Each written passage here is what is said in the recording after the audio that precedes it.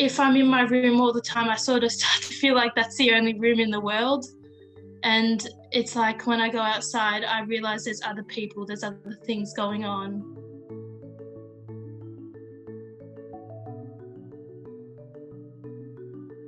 It's been pretty bittersweet. Like, I started off the year hoping to go to America and travel around Europe to meet my best friend for my 18th.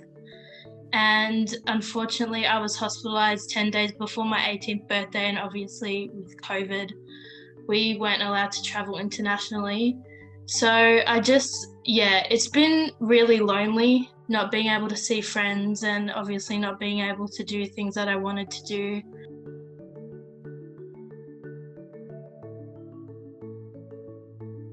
A lot of online therapy and groups have helped a lot.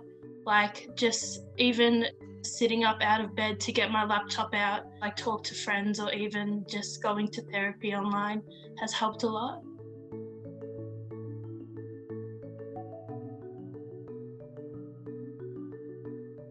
I think mainly distraction tools uh, have been a must for me.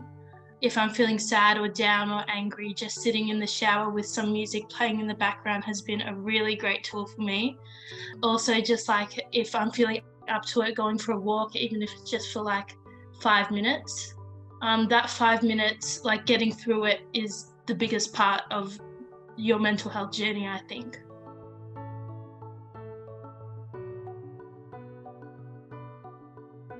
Uh, that there are always people willing to help in big or small ways. Sometimes it's okay to just exist. Just existing is fine, but don't let your depression tell you that you aren't worthy of being helped.